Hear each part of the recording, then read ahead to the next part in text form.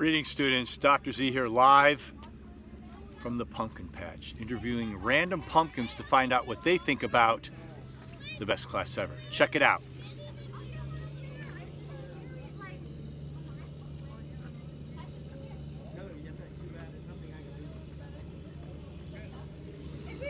Clearly, these pumpkins agree with me that if we work together, we can keep our heads afloat and make this truly the best class ever. Dr. Z live from the pumpkin patch preparing for the ghosts and goblins of Halloween and thinking about the best class ever.